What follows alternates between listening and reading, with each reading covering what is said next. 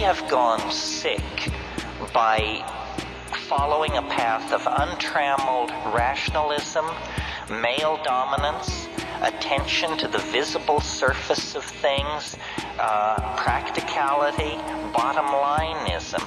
We have gone very, very sick. And the body politic, like any body, when it feels itself to be sick, it begins to produce antibodies or strategies for overcoming the condition of dis-ease. And the 20th century is an enormous effort at self-healing.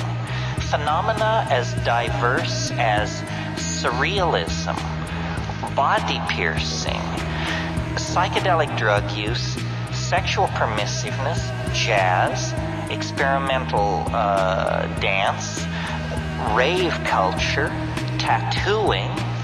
The list is endless. What do all these things have in common?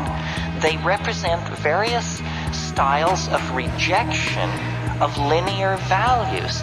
The society is trying to cure itself by an archaic revival, by a reversion to archaic values. So when I see people manifesting sexual ambiguity, or scarifying themselves, or showing a lot of flesh, or dancing to syncopated music, or getting loaded, or violating ordinary canons of sexual behavior, I applaud all of this because it's an impulse to return to what is felt by the body, what is authentic, what is archaic. And when you when you tease apart these archaic impulses, at the very center of all these impulses is the, the desire to return to a world of magical empowerment, of feeling. And at the center of that impulse is the shaman, stoned, intoxicated on plants, speaking with the spirit helpers, dancing in the moonlight, and vivifying and invoking a world of conscious living mystery. That's what the world is. The world is not an unsolved problem for scientists or sociologists. The world is a living mystery. Our birth, our death, our being in the moment. These are mysteries. They are doorways opening on to unimaginable vistas of self-exploration, empowerment, and hope for the human enterprise.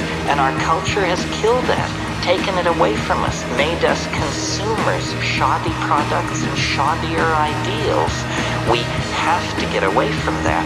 And the way to get away from it is by a return to the authentic experience of the body. And that means sexually empowering ourselves, and it means getting loaded, exploring the mind as a tool for personal and social transformation.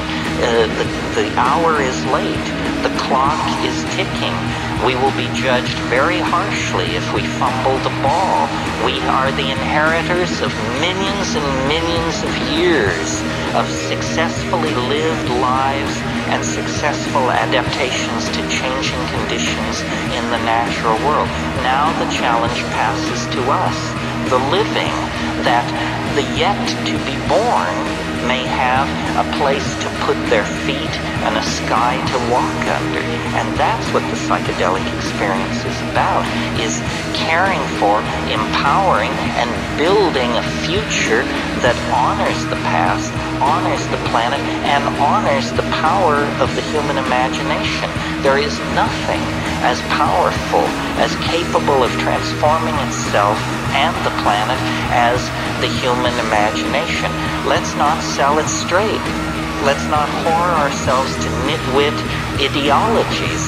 Let's not give our control over to the least among us. Rather, you know, claim your place in the sun and go forward into the light. The tools are there.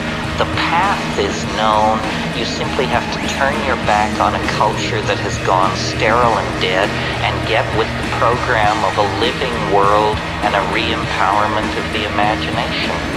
Thank you very, very much.